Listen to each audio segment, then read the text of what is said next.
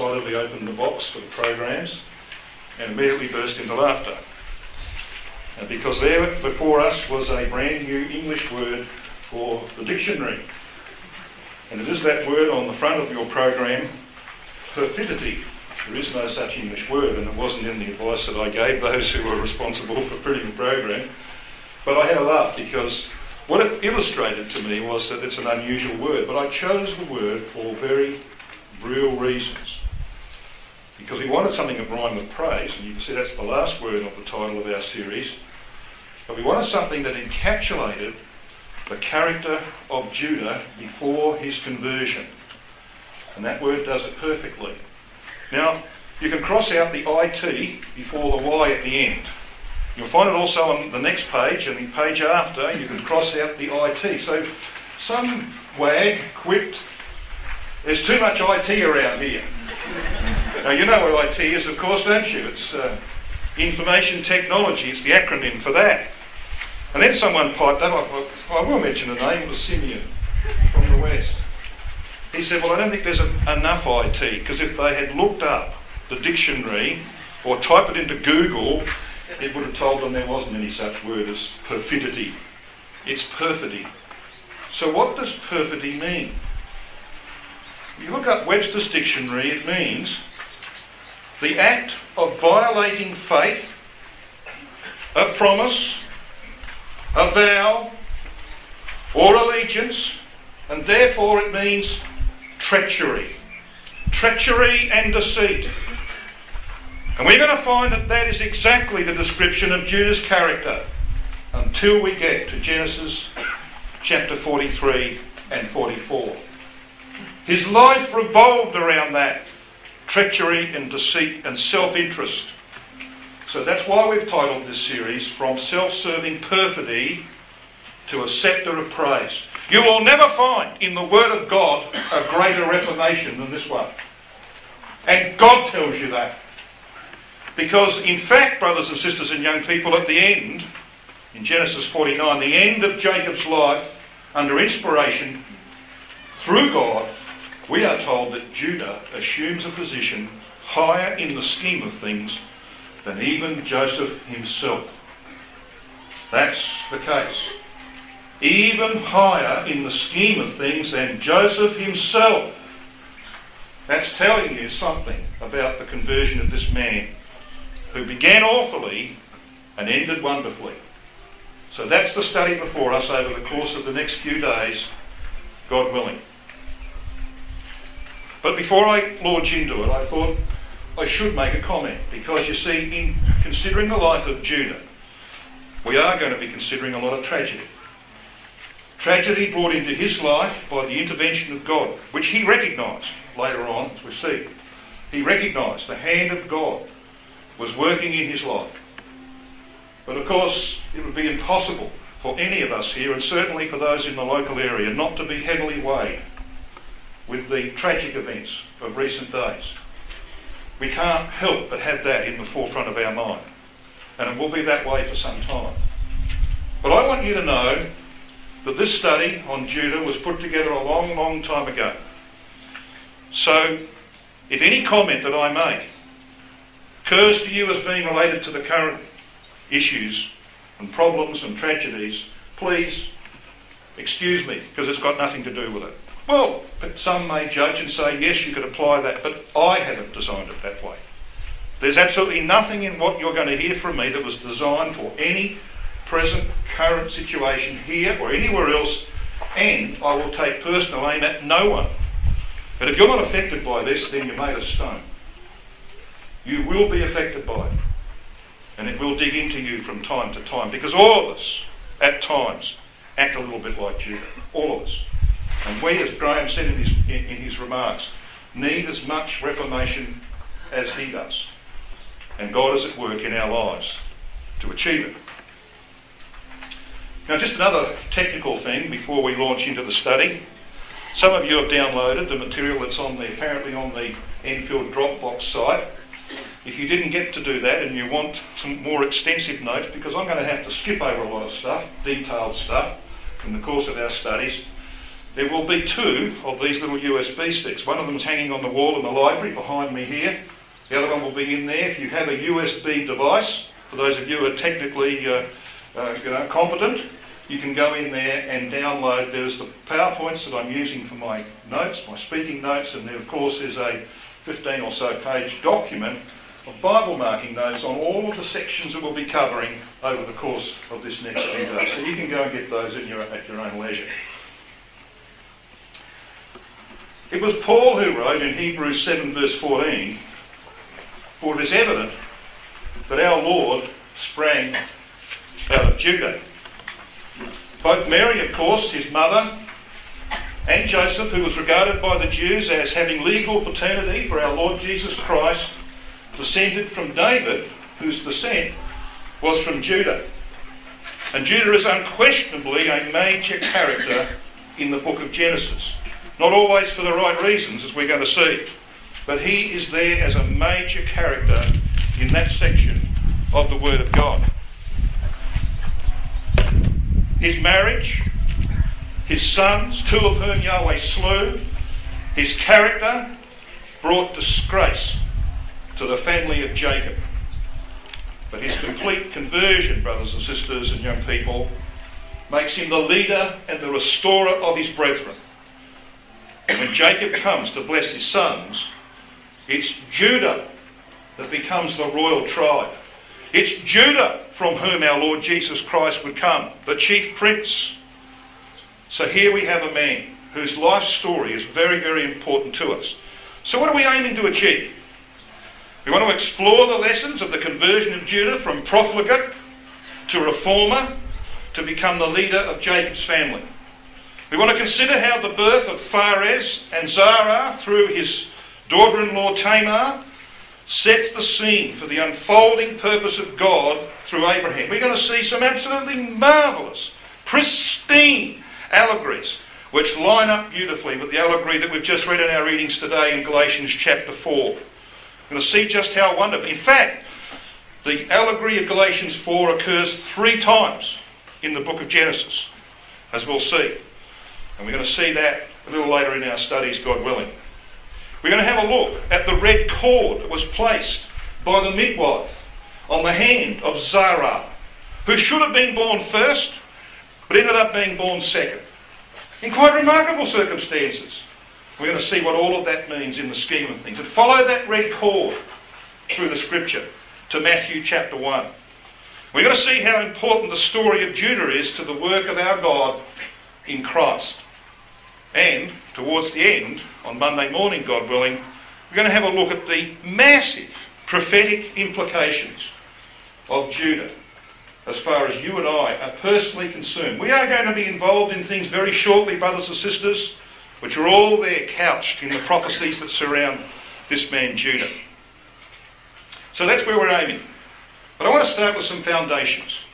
You know, it was probably in excess of 45 years ago that when Uncle John Martin was doing Jacob here at Glenlock, that Brother Max Lund came and chatted with me and said he'd found evidence, strong evidence, uh, that Jacob was in Haran for 40 years and not 20 years, uh, as if you just a casual reading of the record might tell you. Now, most of us, of course, are fully aware that Jacob was in Haran for 40 years and for not 20. And he gave me some proofs. Well, I was too young. It all went over my head at that stage of life. And, you know, sort of, it wasn't until I came to do my own study of the life of Jacob that I looked into the evidence. And there is very, very strong evidence that he was in Haran for 40 years. You might say, well, who cares? What's that got to do with Judah? It's got a lot to do with Judah. Because unless you get the foundations right, then you're not going to have something to build on. We need to get that foundation. I just want to spend a few minutes now having a look at the evidence that Jacob was in Haran for 40 years. Now, 40, of course, is the number of probation, as we're well aware. So, we know from the details that are given in Genesis certain times and stages of Jacob's life. And you can work from the end of Jacob's life. He dies at 147. He went to Egypt at 130. You can work back from the end of his life, but you don't have a lot of detail in terms of timings towards the beginning. So, what age was he when he left to go to Haran, when Esau was threatening to kill him? Was he 77, which he would have had to have been if he was only there for 20 years? Or was he 57, which he would have been if, of course, he was there for 40 years?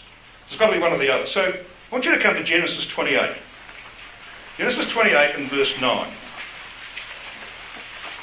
Now, these are the facts. Jacob was 15 on the death of Abraham. You know, Paul makes a wonderful comment in Hebrews 11. He says that by faith, Abraham sojourned with Isaac and Jacob, dwelling in tents in the land. Well, that means, young people, that means that Jacob had the faith of Abraham, or at least the beginnings of the faith of Abraham, when he was 15. Because Abraham died when he was 15. So Paul's telling us something about the early life of Jacob. He was not one of these idiots who wasted his time as a teenager. He put his head down. He had the faith of Abraham at 15. All right, so that's the first thing we recognise. So he was 15 when Abraham died. At that time, Ishmael was 89. And you can't, these, these are simple facts. Ishmael died at age 137 when Jacob was 63. Okay, so when Ishmael died, 137, Jacob and Esau were 63. So what do we read in Genesis 28 and verse 9? Well, verse 8 perhaps. And Esau seeing that the daughters of Canaan pleased not Isaac his father, then went Esau unto Ishmael, and took unto the wives which he had Mahalath, the daughter of Ishmael, Abraham's son, the sister of Nebajoth, to be his wife. Now, how does that read to you? Well, it's pretty clear, isn't it, that Ishmael was still alive that Esau could go to Ishmael and obtain a wife from him. He's still alive. Well, if you remember the facts, Ishmael died when Jacob was 63.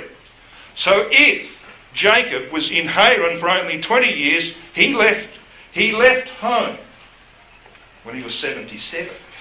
All right? When he was 77. But if he was there for 40 years, he left home when he was 57 It's pretty clear, isn't it? Now, that was one of the proofs that Uncle Max Lund told me many, many years ago, uh, and it's, it's good. But I like to start with what people say, oh, well, that could be the case. But let's step it up. Let's just put the pressure on a little bit, shall we? Let's come to the next one. I want you to come to Genesis chapter 31.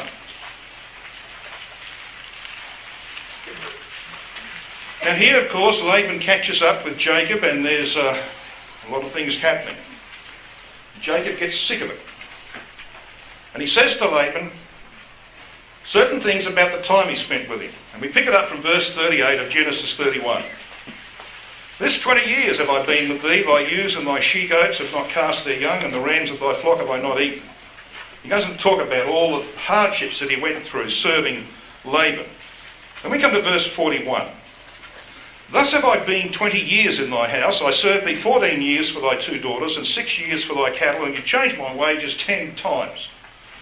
Now, actual fact, when you carefully read this, especially if you read the Hebrew, that is about two periods of 20 years.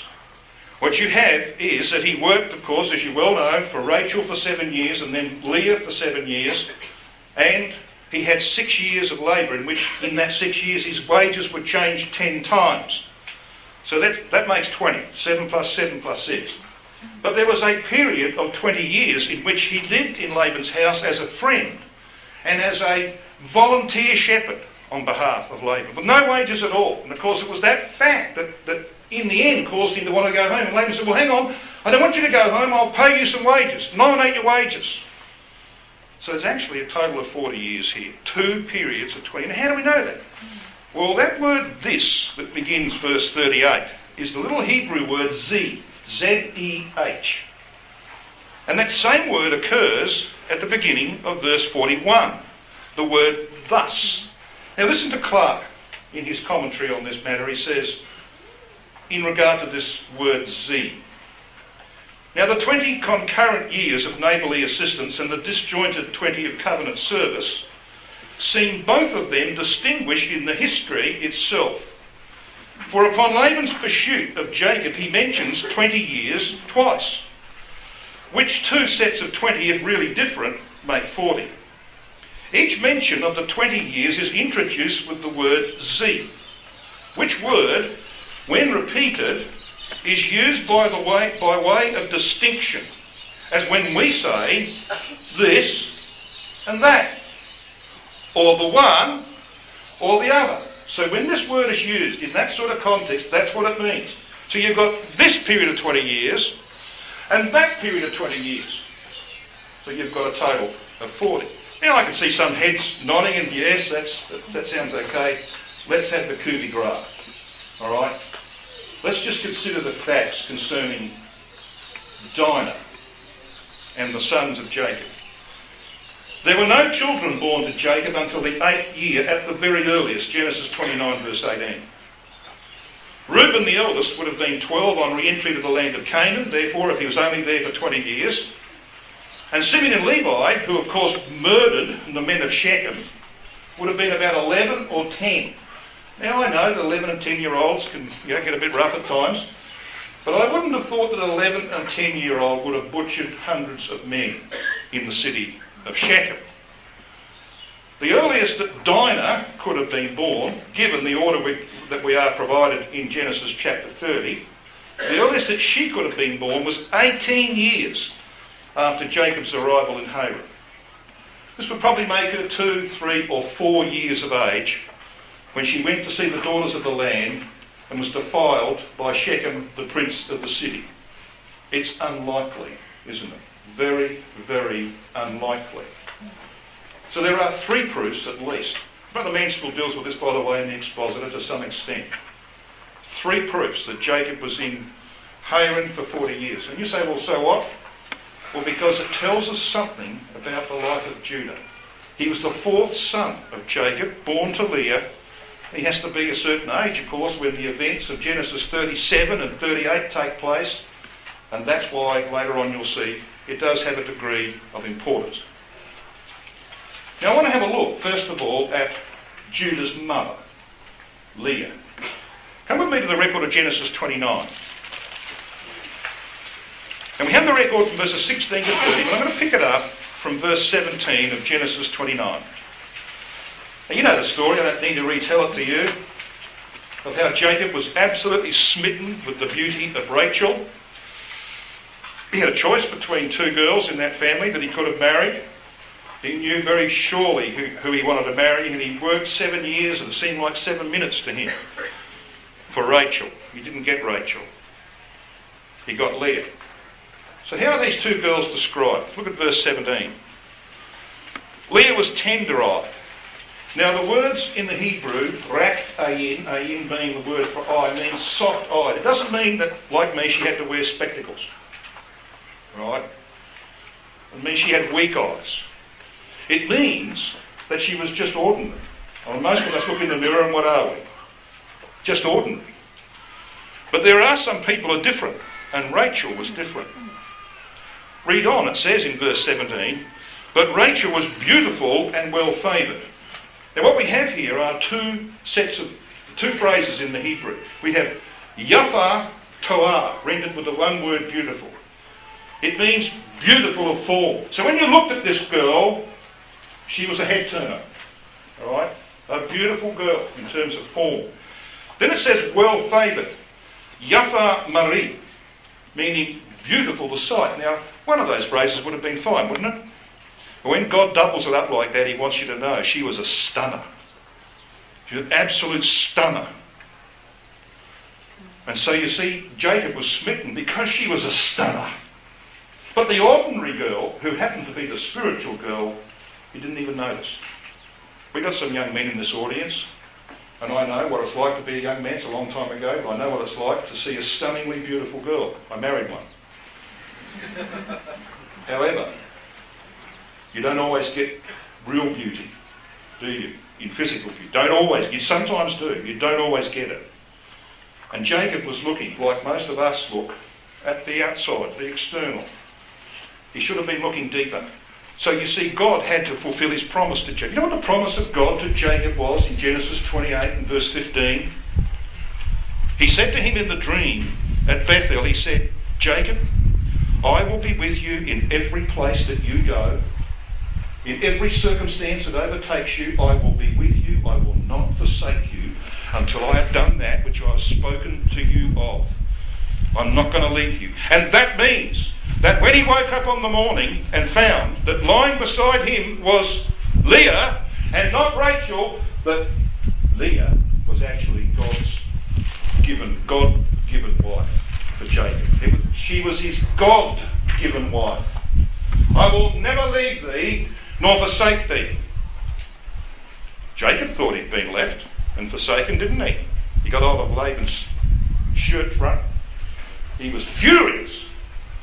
But God had given to Jacob the wife that he wanted for Jacob. All right? And there are some circumstances in life, aren't there, brothers and sisters, where things happen that we wouldn't choose, but God chooses for us. And this is one of them.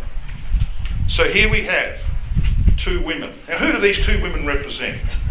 Now, I've got to forewarn you, but I got myself into a little bit of trouble. People get upset with me over this matter, so I'm going to forewarn you that I'm going to have to do something very clear.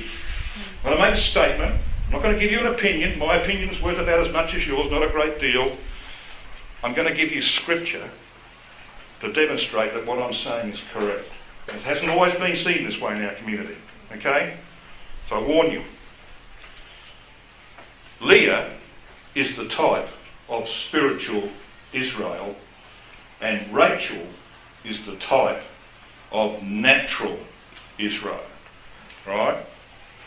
If you don't get this right, you will never understand the, the, the, character of Judah properly and the things that flow from Judah. You'll never understand it. You have to have that right. So let's prove it.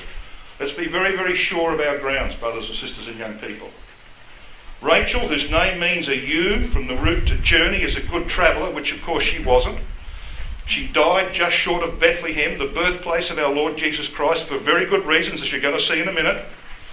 She represents Israel, Yahweh's wife, who had to be sent to Babylon because of idolatry, but out of whom the promised seed would finally come on their return to the land. Whereas Leah, whose name means wearied, from the root to be wearied or exhausted, which of course spiritual Israel finds to be the case, don't they? We're very wearied and exhausted. She ha- happens to rest beside the patriarchs. She's there with Abraham and Sarah and Isaac and Rebekah, lying alongside of her husband that, that God gave to her. All right, just as he gave Leah to Jacob, gave Leah Jacob as her husband. And finally, as we'll see in a moment, finally Jacob recognised it. He recognised the hand of God in his life. And he would have kicked himself if only I hadn't been such an idiot to ignore divine providence in my life, which is what he did. But he got straightened out in the end, as most of us do, thankfully.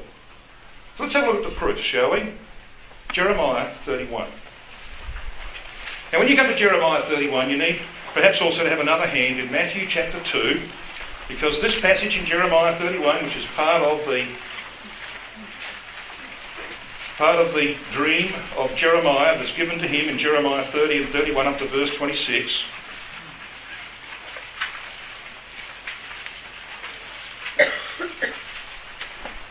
Jeremiah 31, and we read at verse 15. Now, before I read verse 15, I just want you to cast your eyes across to the other column, to verse 8.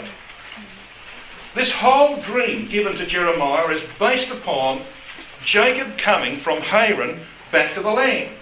And the language is, it's full of the history. Take verse 8 of chapter 31 for an example.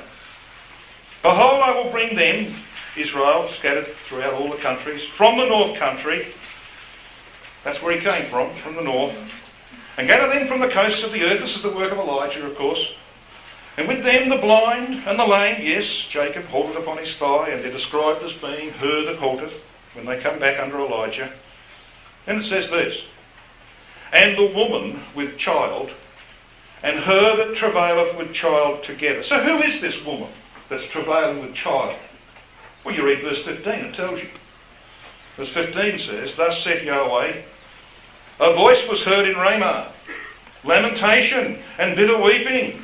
Rachel, that's what it should read. Rachel, weeping for her children, refused to be comforted for her children because they were not. Now, that, that of course was fulfilled, wasn't it? In Matthew chapter 2. Matthew chapter 2 was the time when Herod, having heard the news from the Magi about the birth of Christ, Matthew 2, we read in verse 15.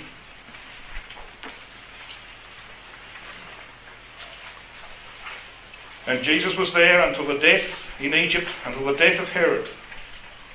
Then you read in verse 16. Then Herod, when he saw that he was mocked of the wise men, was exceeding wroth, and sent forth and slew all the children that were in Bethlehem, and in all the coast thereof, from two years old and under, according to the time which he had diligently inquired of the wise men. Then was fulfilled. Here it comes. Then was fulfilled that which was spoken by Jeremiah the prophet, saying, In Ramah was there a voice heard lamentation and weeping and great mourning. Rachel weeping for her children and would not be comforted because they're not. Direct quotation, as you can see, from Jeremiah 31 and verse 15. So, what's that telling you? What's it telling you?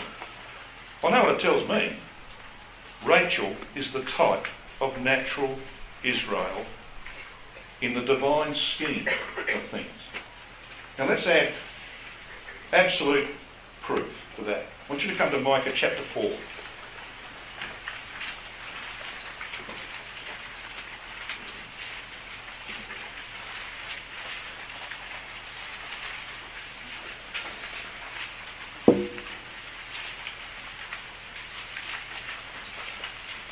Micah 4 and verse 8. And by the way, if you just cast your eye back to verse 6, you will see that it makes reference to assembling her that halteth, based upon Jacob holding upon his thigh. So this chapter is also built around the life of Jacob. In fact, in verse 8 you read, And thou, O tower of the flock, your margin might tell you what mine tells me. It's the Tower of Edar. And you will know that in Genesis 35 and verse 21, just after Jacob buries Rachel, and by the way, I believe found the teraphim of Laban in her stuff. You normally do go through people's stuff when they die, don't you? And he would have found the teraphim of Laban in her stuff. He'd opened his eyes. And it was from that point, brothers and sisters and young people, that Jacob began to appreciate Leah. It wasn't until then that he began to appreciate Leah, that she was his God given wife. So, what does Micah 4 make of Rachel? Let's read on. Verse 9. Now, why dost thou cry out aloud? Is there no king in thee? Has thy counsellor perished? For pangs have taken thee as a woman in travail. I wonder who this woman is. Well, it's the one described in verse 10. Be in pain and labour to bring forth, O daughter of Zion, like a woman in travail. For now shalt thou go forth out of the city, and thou shalt dwell in the field, yes, the nation will go on the way to captivity. They're going to go to Babylon. That's what it tells us in this verse. And thou shalt go even to Babylon. There thou shalt be delivered. And there Yahweh shall redeem thee from the hand of thine enemies. So they went to Babylon because of idolatry. You know, the Jews, when they came back from Babylon after 70 years of captivity, never returned to the idolatry of, of idols of wood and stone. Oh, yeah, they worship money. They worship power and influence. But they never returned to the idols of wood and stone that had marked their history at the end of the nation of Judah. You see, they were cured of idolatry. And God was not going to bring forth his son from a nation that was bowing down to idols. They had to be purged. So who does he use as the type? Rachel. Have a look at chapter 5 of Micah, verses 2 and 3. But thou, Bethlehem Ephratah, though thou be little among the thousands of Judah, yet out of thee shall come forth unto me, that is to be ruler in Israel, whose goings forth have been from old, from everlasting. It was always in the divine plan, wasn't it? So who's going to produce him? Look at the next verse, verse 3. Therefore will he give them up until the time that she which travaileth hath brought forth. And then the remnant of his brethren shall return unto the children of Israel. He's still talking about Rachel. Rachel as a type of natural Israel, from whom the Lord Jesus Christ would come, born of a woman, born under the law. All right, now this raises some questions in people's minds. I know that. Just hold your horses. We'll get to that in due course, God willing. But you know, there's no question, brothers and sisters and young people, that in the divine scheme of things, Rachel is the type of natural Israel and Leah is the type of spiritual Israel. And I want to talk about the qualities of this woman, Leah. There's the allegory. Let's look at the character. I want you to come, if you would, to Genesis 29.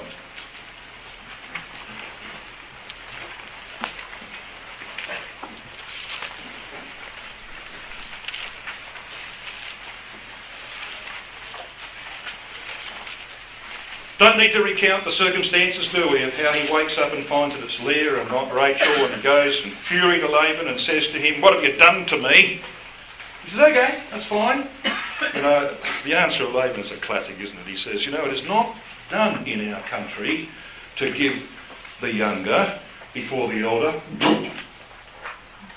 Here was Jacob, the younger, who had deceived his father to get a blessing before the elder. All right? God was at work in this man's life. So that's the story, we know that. So he's made to wait a week. Wonder what attention he gave to Leah in that week. Not much. Read the record with me of Genesis 29 and verse 31. And when Yahweh saw that Leah was hated, now this word hated in the Hebrew, sani, means it has the idea of hate, but it's a Hebraism for not being preferred. All right? It doesn't mean necessarily that Jacob hated Leah. He didn't hate her in the, in the sense that we would use that term. He just did not prefer her. So she was always pushed into the background, always second, ended up being fourth eventually. Always in the background. But that wasn't God's idea for her. Read on. Verse 31. When Yahweh saw that Leah was not preferred, he opened her womb. But Rachel was barren. You know what God's telling Jacob? He's telling him, Jacob, you're, you're an idiot. I can bring forth the 12 tribes from Leah. She's the woman I gave you. So he gives her the children. And Leah thinks this is going to work for her. Read on, verse 32. And Leah conceived and bare a son, and she called his name Reuben. See, a son! She thinks that this is going to turn Jacob's mind, and that now she will take a different position in his eyes. Wrong. Didn't happen.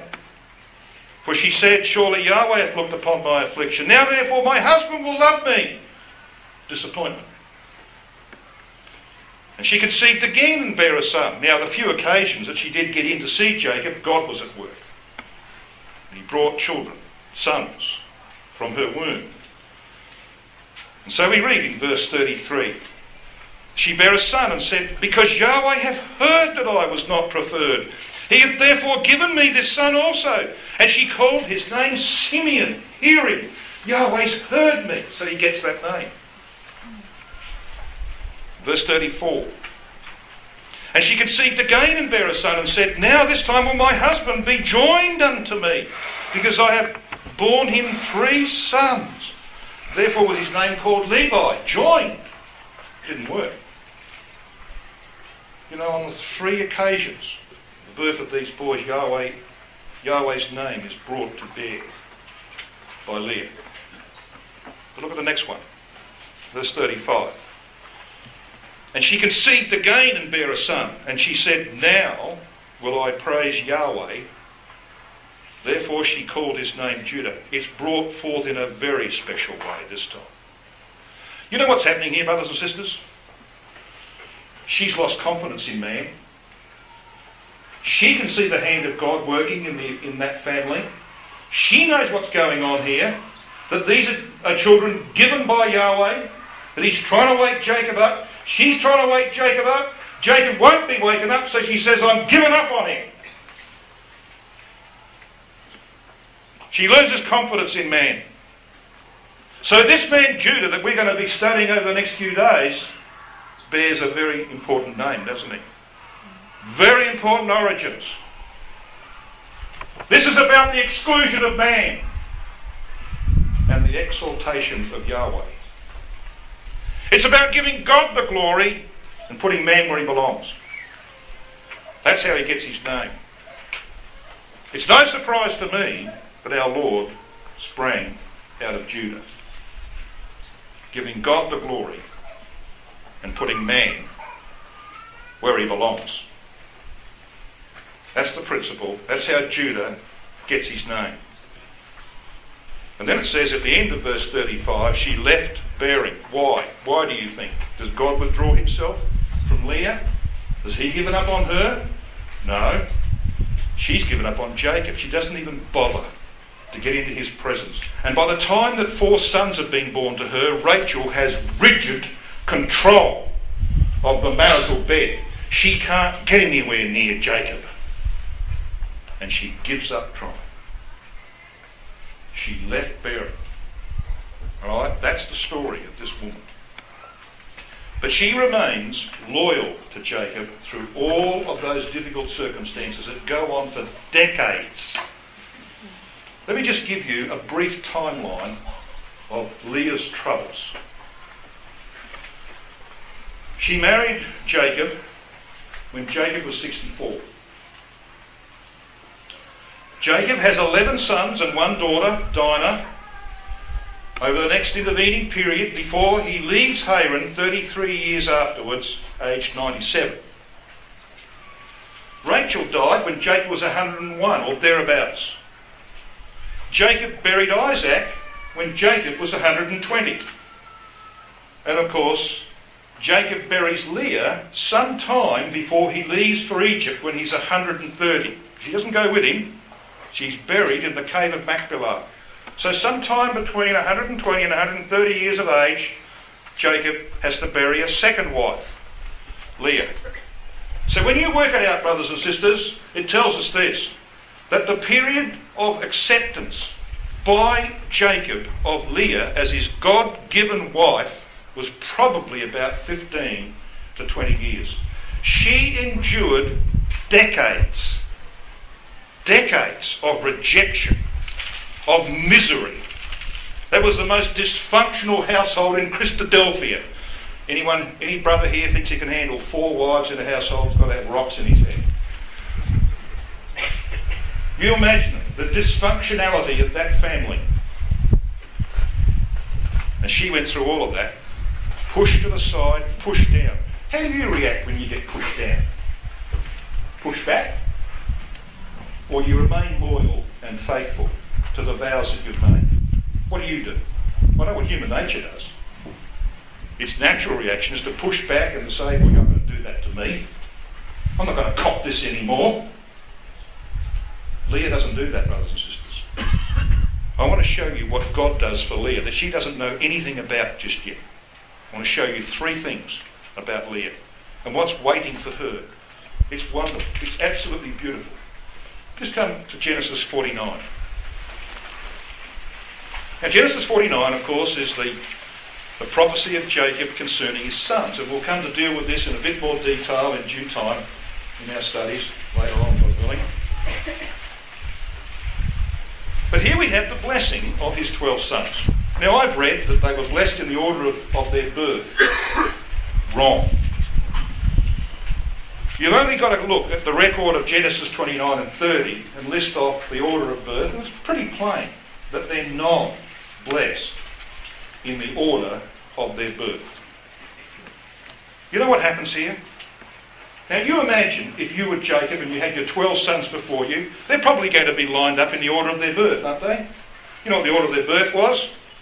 Reuben, Simeon, Levi, Judah, Dan, who of course was the, the son of Bilhah, Rachel's maid, Naphtali, another one of Bilhah, Gad, he was of Zilpah, the fourth wife of Jacob, Um, then we have Asher, who was also from Zilpah. And then Leah has two more boys, Issachar and Zebulun. And then, of course, Rachel finally has two sons, Joseph and Benjamin. That's the order of their birth. So, what's the order of their blessing? You imagine this. Uh, young men, if you were standing before your father and he's going to give you the final blessing, and you're lined up in the order of your birth, there's a certain, you know, we know what it's like in families, don't you? There's a certain pecking order. You can't put the younger one before the older one. It doesn't happen. Happens here.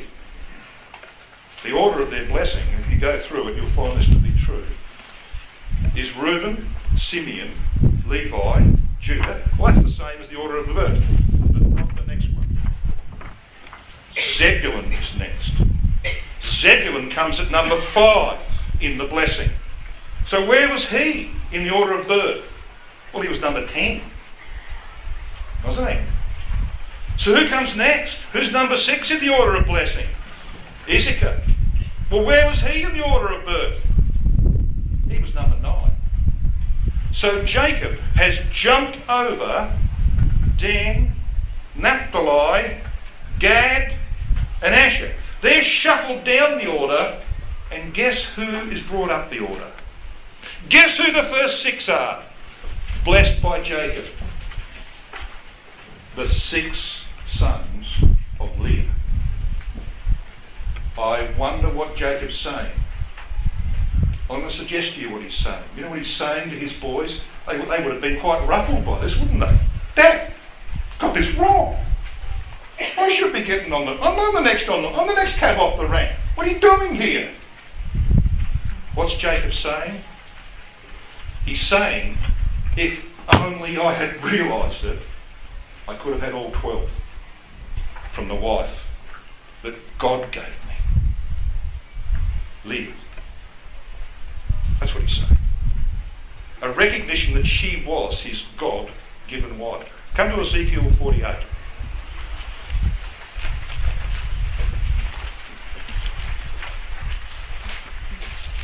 Now you will know that portions of, Ezekiel 48 are about the, what's called the profane or common section of the Holy Oblation. In verses 15 to 20, we have the, the proportions of that profane section of the land in the Holy Oblation. It's the southern, the Holy Oblation divided up into three parts. It's the southern part of the Holy Oblation. And the proportions of it are given to us in verses 15 to 20. Now, this, of course, is where the dormitory city, Yahweh Shammah, is to be located. It's some 35 kilometres south of the temple itself. This is where people come in the kingdom age and they stay there, like you and I are camping here. Uh, They'll have a much more salubrious place given to them in that time. They will stay in Yahweh Shammah. We read of that in the very last verse of Ezekiel 48. It says, it says, It was around about 18,000 measures, and the name of the city from that day shall be Yahweh is there. Now, some people think this is a reference to Jerusalem, to Zion. It's not. Yahweh Shammah means, as Brother Sulley points out, Yahweh thither. That's its literal meaning. Yahweh thither, or to Yahweh from this place. So, literally, the Hebrew name means we're going to go from here, from thence, unto Yahweh. He's 35 kilometres up the road. So, it's a dormitory city where people live for the time being until they go to the temple to worship. I'll come back and they might make several journeys to the temple from this place. So, what's that all about? Well, there's something very important about it. Something very, very important for Leah about it. So, read with me from verse 30. And these are the goings out of the city, meaning Yahweh Shammah, on the north side, 4,500 measures. The word there, goings out, means exits, as Rotherham translates it. And the gates of the city shall be after the names of the tribes of Israel. Three gates northward. One gate for Reuben, one gate of Judah, and one gate of Levi. So whose sons are they? All sons of Leah. So why is it important that they be on the north side? Well, let's have a look at this city. It has gates on the east and gates on the west. You know what they're for? They are there for the Levites who will tend the fields that are on either side of the dormitory city, fields in which they'll grow crops and keep herds and flocks to provide food for the worshippers, the mortal worshippers who come and stay in this place. So those are what you might call utility gates. There are three on the west, three on the east. But what about the gates on the north and south? Well, the gate on the north is the gate you go through when you're going from Yahweh Shammah to worship in the temple. And the gate that you return through when you come from the temple. The southern gate is the gate that you enter the city by. Come from the south, you enter Yahweh Shammah from the southern gate. You go through the northern gate to worship. You return to the city through the northern gate and you go home through the southern gate. You don't access the east and the west if you are a mortal worshipper. That's for the Levites and the children of Israel, who bring in the requirements of the city. So, what about the southern gates? Have a look at verse 33. And the south side, 4,500 measures, and three gates. One gate of Simeon, one gate of Issachar, and one gate of Zebulun. Whose sons are they? You got it. Leah.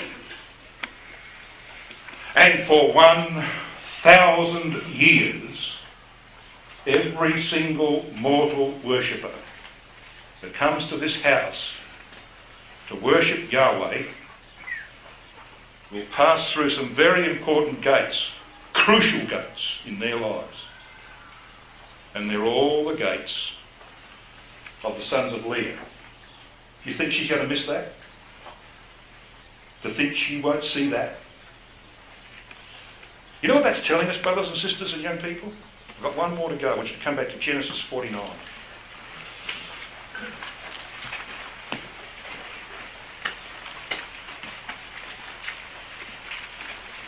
The very last words spoken by Jacob to his sons, whom he's just blessed. Verse 29 of Genesis 49. And he charged them and said unto them, I am to be gathered unto my people. Bury me with my fathers in the cave that is in the field of Ephron the Hittite, in the cave that is in the field of Machpelah, which is before Mamre, in the land of Canaan, which Abraham bought, bought, with the field of Ephron the Hittite for a possession of a burying place. Now look at these words. This is what we want. There they buried Abraham and Sarah, his wife. How many wives did Abraham have? Three. Hagar and Keturah, as well as Sarah. There they buried Isaac and Rebekah, his wife. How many wives did he have? One. And there, says Jacob, I buried Leah. How many wives did he have? Four. So why doesn't he say, my wife? Well, it was palpably obvious, obvious to his boys who were standing there, some of them quivering because of what was really a blessing, but they didn't see it that way, and we'll see that. They stood there quivering. They knew exactly what Jacob was talking about. The very order of their blessing proved that he now recognised Leah as his God given wife. He could have buried Rachel here, couldn't he? Where he buried her outside Bethlehem in Ephratah. That wasn't very far from Hebron, where the cave of Machpelah was, just down the road. He could have buried Rachel there. He didn't. Why didn't he? Well, most likely because he found Laban's teraphim in a stuff. Which is why she's used as the type of natural Israel. Now, people come to me after and say, but you're, you're suggesting Rachel won't be in the kingdom. I'm not talking about the judgment seat. I don't know where Rachel's going to stand. What I do know, brothers and sisters and young people, is the way God uses her. And he uses her as a type of natural Israel. Her destiny is in God's hands not in mine or in yours. So here we've got the foundations of the life of Judah. And I better get on with it, eh? But not before I say this. The whole point of what we've just done is to demonstrate one very important thing. Loyalty under severe trial, faithfulness to covenants when they are sorely tried, trusting God when it doesn't look like anything's going to change, are the qualities we see in Leah. And what God has reserved for her, brothers and sisters and young people, teaches us a very important lesson. There is a reward for faithfulness and loyalty under severe and enduring trials. But you've got to wait for it. She's waiting for it. And it will come. Now, very quickly, what I want to do is show to you the framework which, within which our study is going to function. And I noticed the time. I had to be quick. What we have here is a series of chapters which are put there by God for a reason. Now, if you and I were writing this record, we would not have written it this way, but He did through Moses. You've got Genesis 36. I wouldn't have put it there. Mean, it's not in the right place, really. You'd have a logical sort of approach, not in the right place. But God puts Genesis 36 where it is. Why? Well, because you see Esau as Edom. Have a look at Genesis 36 very quickly. Five times in this chapter, and you can work this out for yourselves, five times in this chapter, the statement is made Esau is Edom. You see it in verse 1. You'll find it again in verse 8. And again, if you look at the margin in verse 9, you'll find it again in verse 19. And again in the last verse, verse 43. Now, do you need to be told five times that Esau is Edom? No. So what's that about? Well, you see, Edom just happens to come from Adon, Rosie, which is the root word for Adam. And you will recall that Esau had a kingdom before Israel, yes. And the kingdom of men came before the kingdom of Israel. So that's why when you carefully look through Genesis 36, guess what you find? 70 names of the progeny of Esau. And 70 is the biblical number for the nations. This is a chapter about the kingdom of men. And moreover, this is the ninth generation of 14. I'm going to have a look at the last generation in our final study on Monday, God willing. The 14th generations in Matthew chapter 1. This is the ninth generation in Scripture. And the name Esau occurs in this chapter 11 times. And I don't need to tell you that he has 11 dukes that come from him. I wonder why 11. Well, 11 is the number of inadequacy and failure. And the kingdom of men is inadequate and will fail. That's why that chapter's there. So what comes next? Genesis 37. What's that about? Joseph the most expansive type of our Lord Jesus Christ in the Old Testament. All of the details of the life and mission of our Lord Jesus Christ in Genesis 37. That's why he comes next. This is God's means of redemption of the human race, locked away as they are in the kingdom of men. Then you've got Genesis 38. What's that about? I wouldn't have put it there, but it's there because it's about the character of the nation into which Christ was born. And we're going to see in the character of Judah that he is a type of the nation that Christ encountered. So it was apostate and corrupt, just like Judah was. And we have Genesis 39, Christ in the grave for three days and three nights.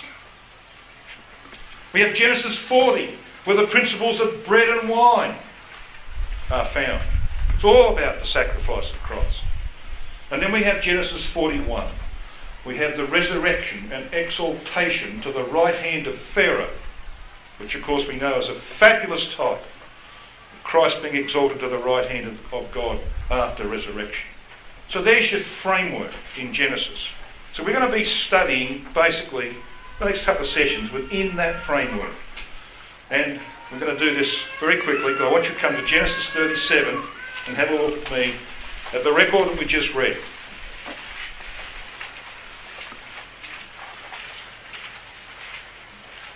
Now, as I said, I've just scooted through that, but all of those details are to be found in the notes that are available if you want to get a copy of them. It's all in, that, in those notes. Genesis 37, verse 2, we read, These are the generations of Jacob. Joseph, being 17 years old, was feeding the flock with his brethren. And the lad was with the sons of Bilhah and with the sons of Zilpah, his father's wives. And Joseph brought unto his father what's called here his evil report. Now, in actual fact, when you have a look at the Hebrew, it's better rendered by the RSV. Joseph brought an ill report of them to their father. Now you can imagine the response when the boys heard. Now who were they? Well, they were the sons of Zilpah, the sons of Bilhah.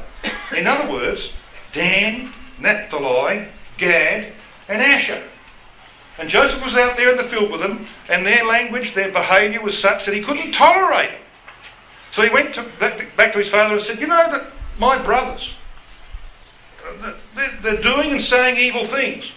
And of course, when they heard about that, they weren't very pleased.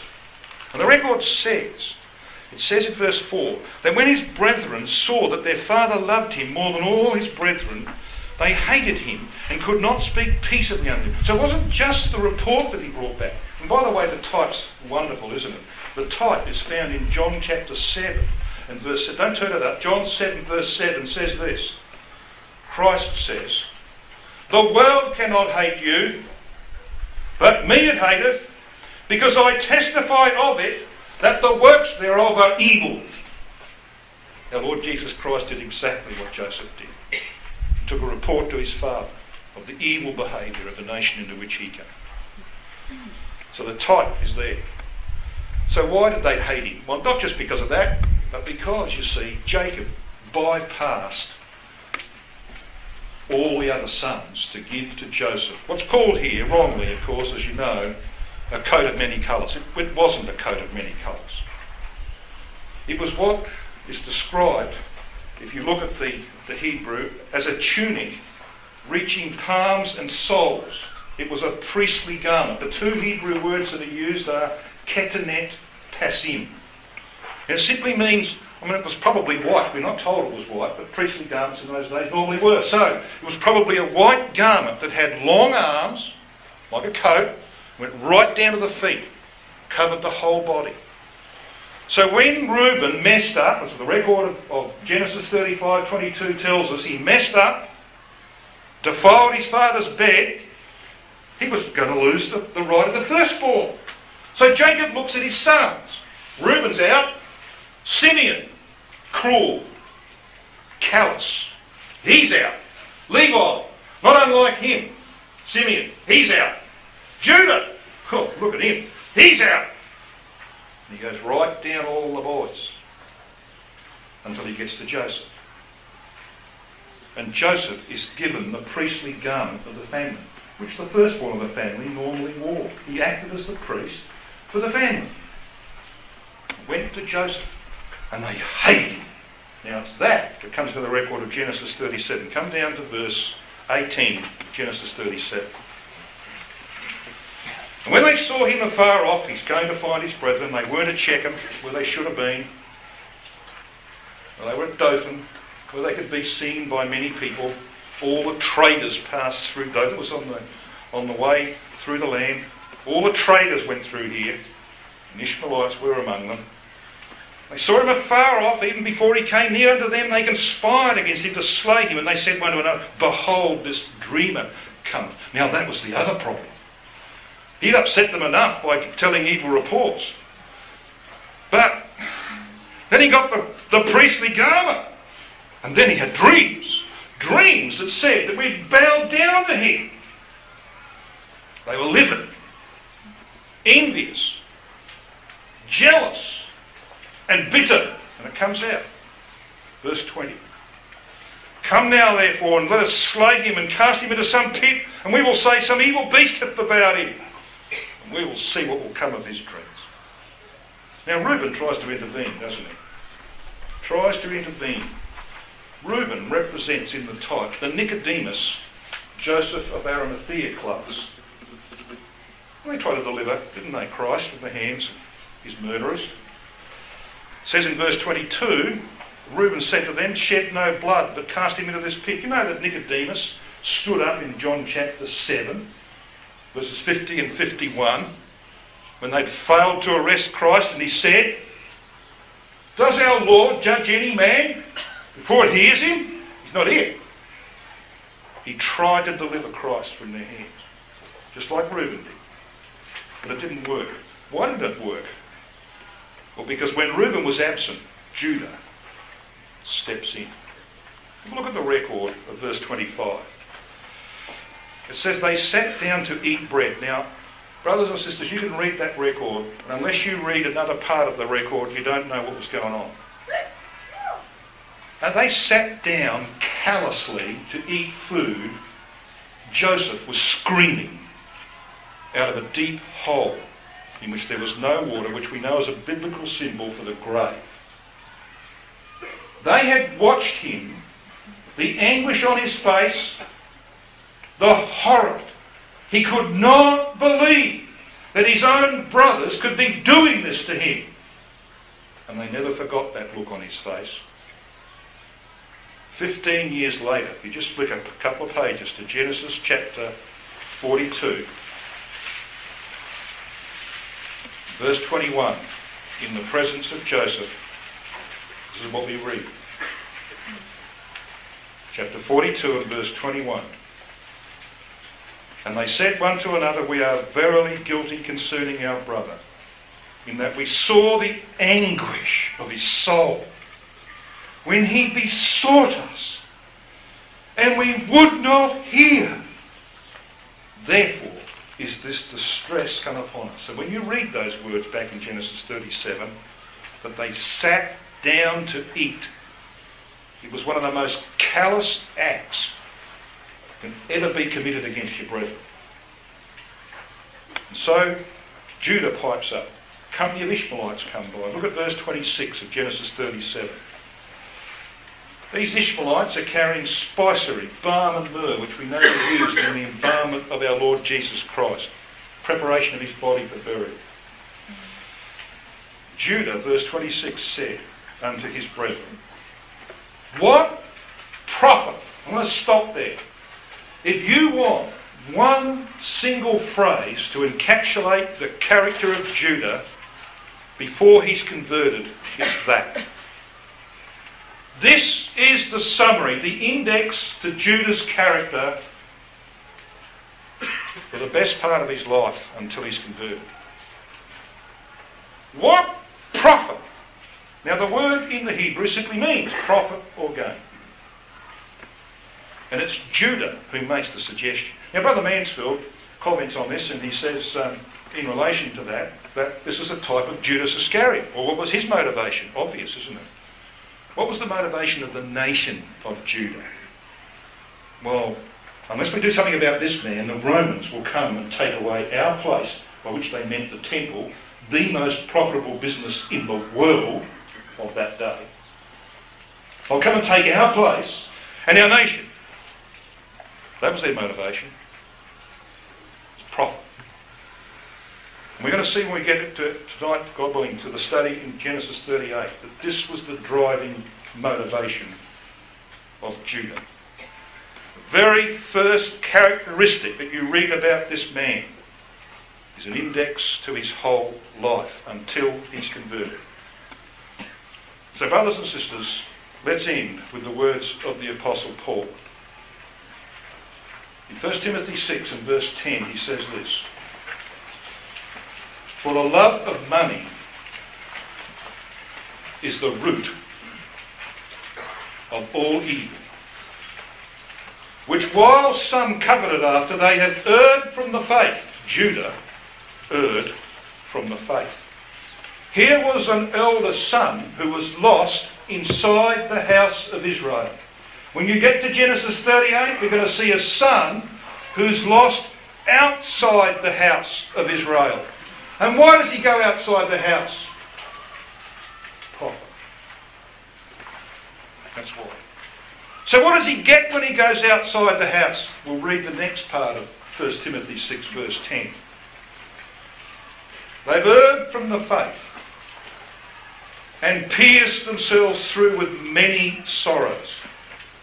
When we get to Genesis 38, you're going to see one disaster after another happen to Judah. One tragedy after another. He finds himself weeping at the loss of two sons that Yahweh kills. And then at the loss of a wife. You know what, brothers and sisters? He later on says, God, God was at work in my life. And I couldn't see it. We can learn a lot from this.